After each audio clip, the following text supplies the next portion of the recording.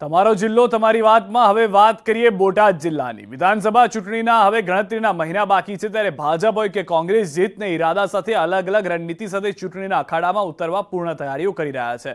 બોટાદ જીતવા કયા સમીકરણો અસરદાર છે? શું છે અહીંનું જાતિગત સમીકરણ? બોટાદ જિલ્લામાં કયા મુદ્દા ચૂંટણીમાં મુખ્ય બની શકે છે? જોઈએ આ અહેવાલમાં.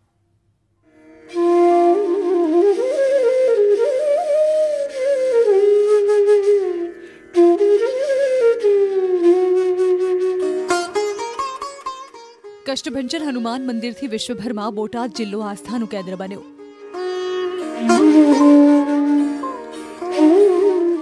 બોટાદ જિલ્લા ભક્તિ અને શક્તિનું સંગમ છે. બોટાદનું સાળંગપુર હનુમાન મંદિરની સાથે સાથે બીએપીએસ સ્વામિનારાયણ સંપ્રદાયનું પણ મુખ્ય કેન્દ્ર છે. બીએપીએસ સંસ્થાના ગુરુહરિ પ્રમુખ સ્વામી મહારાજે સાળંગપુરથી વિશ્વમાં સનાતન સંસ્કૃતિની પતાકા લહેરાવી.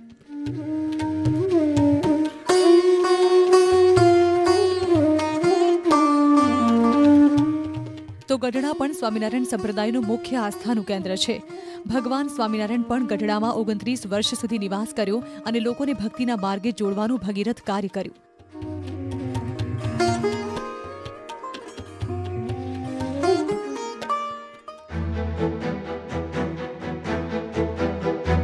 તમારો જિલ્લો તમારી વાતમાં આજે વાત કરીશું બોટાદ જિલ્લાની બોટાદ જિલ્લાના ચાર તાલુકા પૈકી બે વિધાનસભા બેઠકો આવેલી છે, જેમાં છે ગઢડા એકસો છ વિધાનસભા અને બોટાદ એકસો સાત વિધાનસભા બેઠક. જે આ બંને બેઠકમાં મતદારોની શું આશા અપેક્ષા છે, શું છે તેમને માંગો તેવી અનેક વાત સાથે આજે આપણે તમારો જિલ્લો, તમારી વાતમાં બોટાદ જિલ્લાની આ બે બેઠકોની વાત કરશું. બોટાદ જિલ્લાની સ્થાપના ત્રેવીસ સપ્ટેમ્બર, બે હજાર બારમાં ગુજરાતના તત્કાલીન મુખ્યમંત્રી નરેન્દ્ર મોદીએ કરી હતી. બોટાદ જિલ્લાના અમદાવાદ અને ભાવનગર જિલ્લામાંથી બે બે તાલુકા છૂટા પાડીને કરવામાં આવી હતી. બોટાદ જિલ્લામાં ભાજપનું એક હથ્થા શાસન છે. તાલુકા પંચાયત હોય કે જિલ્લા પંચાયત, નગરપાલિકા કે પછી જિલ્લાની બંને વિધાનસભા બેઠક, અહીં ભાજપ હંમેશા સત્તામાં આવે છે. બોટાદ જિલ્લાની ચાર તાલુકા પંચાયત, બોટાદ, ગઢડા બરવાડ અને રાણપુરમાં ભાજપ સત્તામાં છે.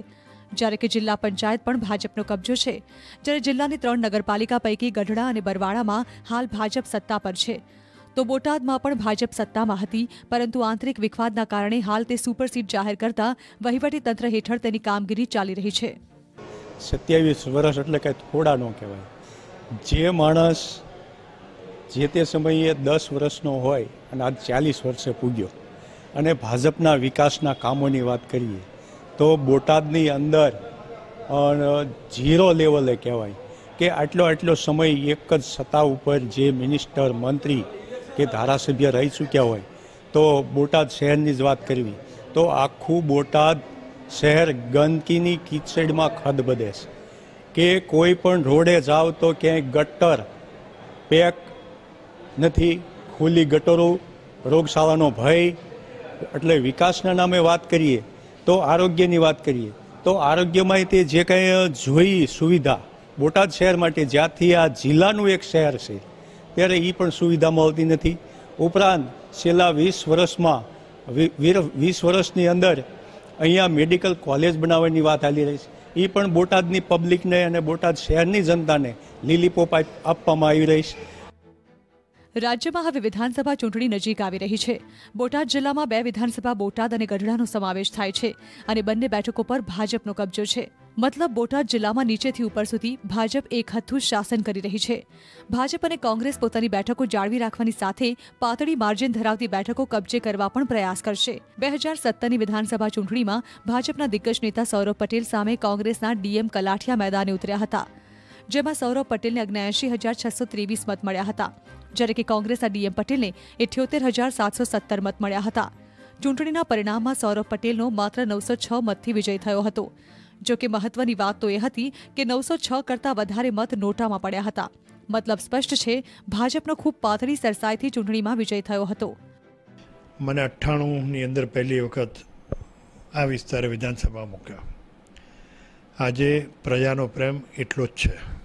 આનું મૂળ કારણ બોટાદ પહેલાં એક નાનું ગામડા જેવું શહેર હતું. અને આજે બોટાદ એક જિલ્લો બન્યો. ચાર તાલુકાનો નાનો જિલ્લો.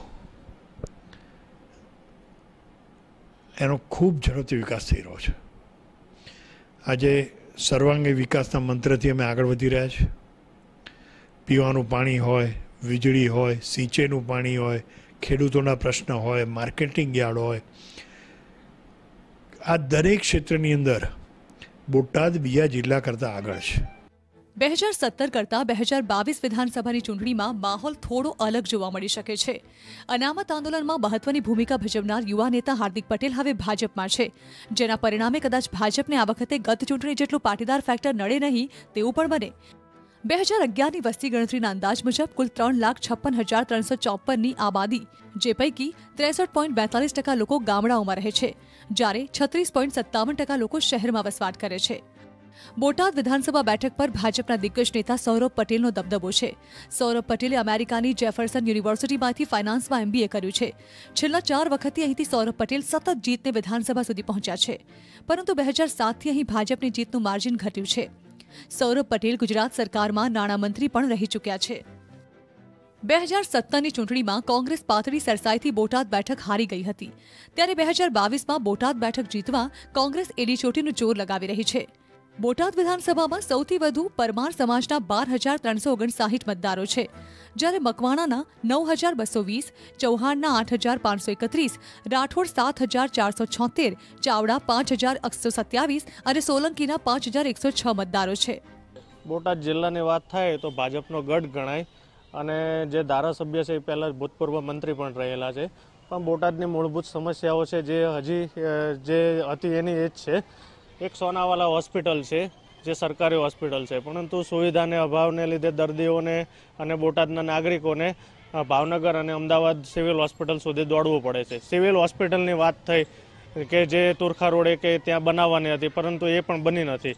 અને આજુબાજુના રોડ રસ્તા છે, જે ધૂળની ડમરીઓ ઉડે છે, જે મુખ્ય રસ્તાઓ છે, જે ટાવર રોડ હોય, પાળિયાદ રોડ હોય ગઢડા રોડ હોય કે ભાવનગર રોડ હોય પરંતુ રોડ રસ્તા એના એ જ ખાડા ખરબચડા અને લોકોને પેટમાં આંટી ચડી જાય એવા છે.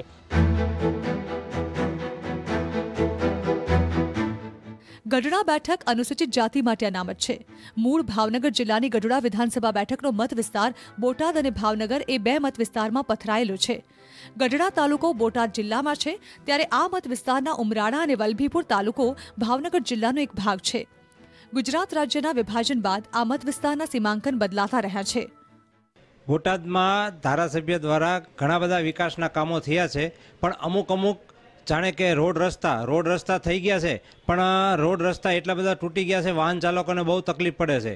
અને પાણીનો પ્રશ્ન પાણીનો પ્રશ્ન તો હલ થઈ ગયો, અત્યારે પાણીનો પ્રશ્નમાં કોઈ તકલીફ નથી. પાણીનો પ્રશ્ન પણ જે હતો, એ પણ અત્યારે એકદમ સરળ થઈ ગયો છે. અને સિવિલ હોસ્પિટલ, જે બોટાદમાં એની મંજૂરી મળી ગઈ છે, પણ છતાં એની કોઈ પણ જાતની હિલચાલ થઈ નથી. બે હજાર સત્તરની ચૂંટણી વખતે ગઢડા તાલુકાના પચાસથી વધુ ગામો બોટાદ મતવિસ્તારમાં ભળ્યા અને વલભીપુર બોટાદમાંથી ગઢડામાં ઉમેરાયું.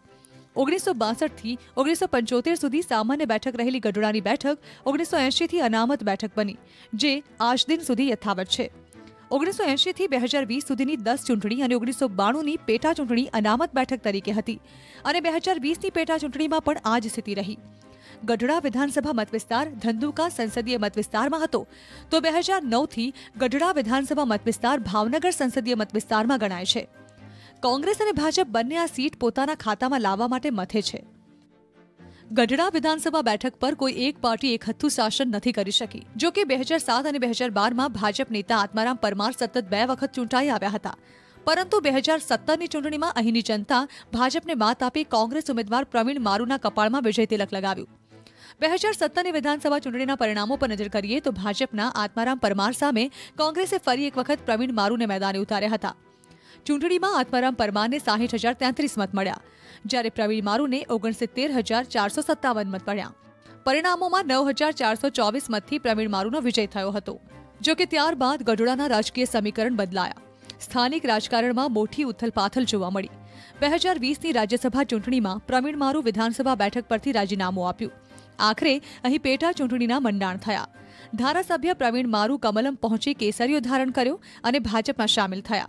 ગઢડા વિધાનસભાની બે હજાર વીસની પેટાચૂંટણી ફરી એક વખત ભાજપના આત્મારામ પરમારનો ત્રેવીસ હજાર મતથી વિજય થયો.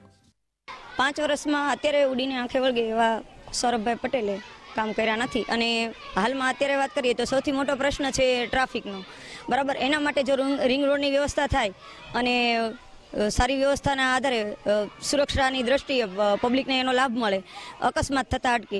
એ સિવાયનું સારા હોસ્પિટલ કે જેથી કરીને કોઈ ગરીબ હોય, મધ્યમ પરિસ્થિતિ ના હોય, તો એનો એ લાભ લઈ શકે અને પોતાના સ્નેહીજનોને બચાવી શકે. એ સિવાયનું સામાન્ય રીતે વાત કરીએ, તો શૈક્ષણિક દ્રષ્ટિએ રમતગમતના મેદાનની